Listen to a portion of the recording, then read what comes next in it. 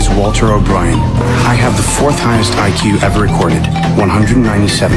Einstein's was 160. When I was 11, the FBI arrested me for hacking NASA to get their blueprints for my bedroom wall. Now, I run a team of geniuses tackling worldwide threats only we can solve. Of the six three-digit integers on the board, which are divisible by four? O'Brien. All of them. Not even in the outer reaches of Pluto, where you generally reside, is 703 divisible by four. 703 divided by 4 is 175.75. It can all be divided by 4, just with the remainders. You didn't define your terms.